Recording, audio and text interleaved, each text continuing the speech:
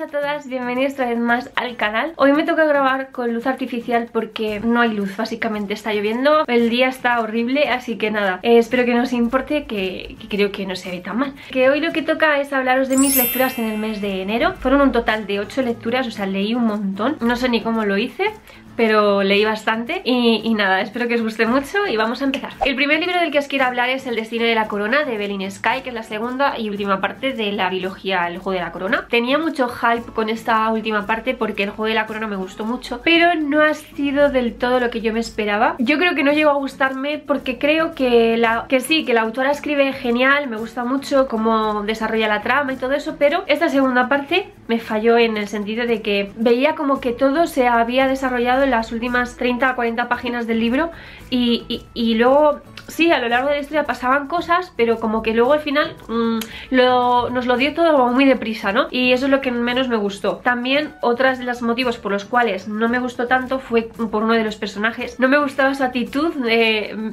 estaba cayendo fatal y sí que es verdad que entendía su papel, pero es que no me gustaba, me dolía muchísimo su actitud, pero bueno, es parte de la historia obviamente. Así que le puse 4 estrellas de 5 porque obviamente las 5 estrellas no se las merece.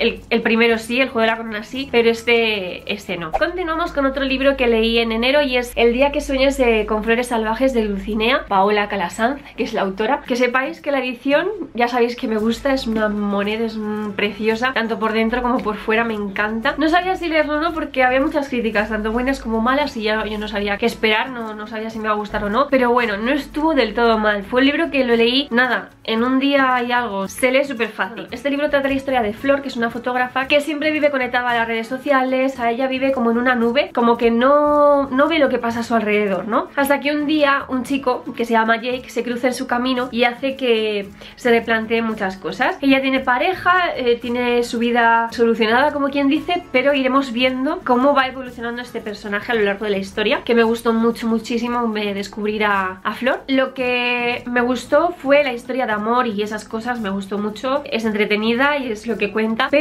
sí que es verdad que introduce el tema del veganismo y esas cositas que a mí no me importó para nada, pero sí que es verdad que siento que fue un tema que quiso meter ahí la autora porque ya es así, le gusta mucho estas cosas y ella es vegana, entonces es normal que haya metido esto en el libro, pero si no lo hubiese metido me habría gustado muchísimo más, así que bueno, yo le puse un 3,5 de 5 creo recordar. Y sí que creo que leeré la segunda parte, que trata sobre otra protagonista diferente, así que ya os contaré si lo leo.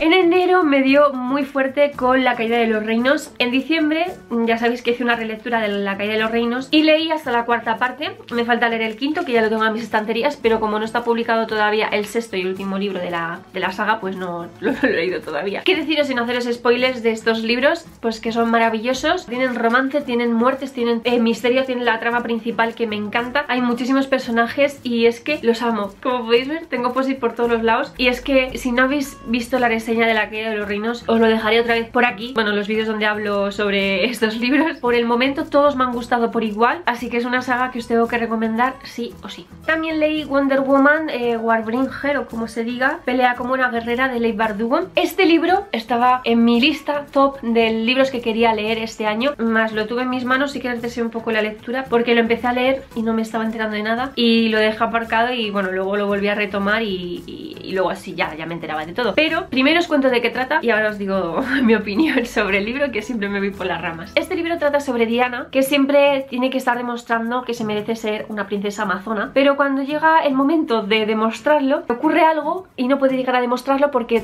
tiene que decidir entre salvar a una persona que se está ahogando en el mar o demostrar que es una buena princesa amazona. Entonces decide, obviamente su corazón decide salvar a esa persona y todo se va a complicar desde el momento en que toma esa decisión. Eh, no os quiero contar mucho más, simplemente que, que a ver, en la historia como tal me gustó. Estuvo bien, pero yo creo que no fue mi mejor momento para leer este libro y no lo disfruté tanto como yo pensaba que lo iba a disfrutar. Se lee, sí, se lee fácil, pero no llega a conectar con los protagonistas en sí. Seguramente que igual en un futuro lo vuelva a leer y me guste, quién sabe, pero pero no. Seguimos con Sueños de Piedra de Viaje Paréntesis de M. Pascual. Todo lo que leo de las autoras me gusta, o sea, no hay nada que me decepcione. Siempre disfruto un montón con sus historias, con sus libros y este no fue menos. Este sí que es verdad que es una historia llena de, de amor, de sentimientos, de... También tiene un poco de magia y de personajes, o sea, realmente nos quedamos con eso. Tampoco busques una trama grandísima, pero me gustó un montón. El libro trata sobre una prostituta, un príncipe y un mago. Estos son nuestros tres personajes principales de la historia. Line, ella siempre ha querido vivir su vida y quiere escapar de, su profesión, está harta, no aguanta más y decide escapar. Y luego nos encontramos con nuestro príncipe que se llama Arzamel. Él siempre ha sido la persona que iba a ocupar el trono cuando su padre muriera, pero resulta que aparece un hijo bastardo y que mm, va a ocupar su lugar y le va a robar la corona. Entonces él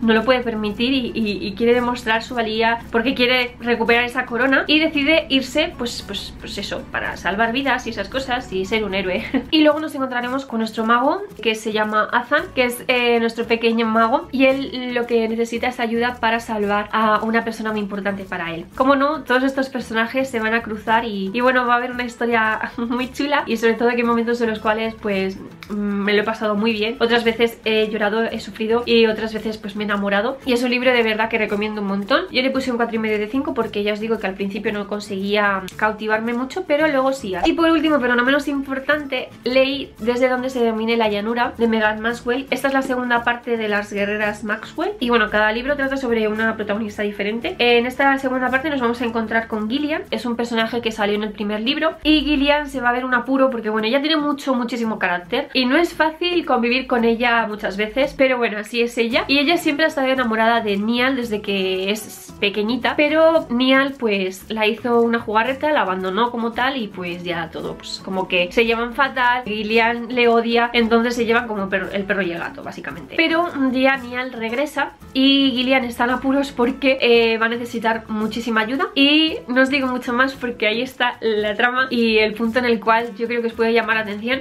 Mi opinión general con estos libros es que tampoco son los libros más maravillosos del mundo, tienen sus tópicos siempre es casi todos los libros de Megan Maswell porque el primero y el segundo es que son casi parecidos, es lo que yo iba notando, que no había mucha diferencia entre uno y otro, pero son entretenidos, se leen rápido y a mí me gustan, me entretienen y demás, pero sí que es verdad que este es el que menos me ha gustado, me gustó más el primero, por lo que os digo, pero no digo yo que no lea el tercero, ¿vale? Porque bueno, ya os digo que estos libros pues los leo entre sagas cuando estoy un poco saturada y cuando sé que me pueden sacar de un bloqueo lector y esas cosillas. Por lo tanto ya os digo, le puse un 3 eh, de 5 estrellas, por lo dicho, me gustó, pero tampoco fue la, la maravilla. Así que nada, espero que os haya gustado mucho el vídeo. Estas son todas, todas, todas las lecturas que tenía pendiente por, por, hablaros. Así que como siempre, muchas gracias por estar ahí, por verme. Os dejaré todas mis redes sociales en la cajita de información Y mi blog, porque estoy subiendo bastantes reseñas ah, por ahí. Si podéis saber un poquitito más sobre los libros y, y todas estas cosas que estoy leyendo. Y nada, que eso, que nos vemos en un próximo vídeo Que espero que sea muy muy pronto. Un besazo y nos vemos, adiós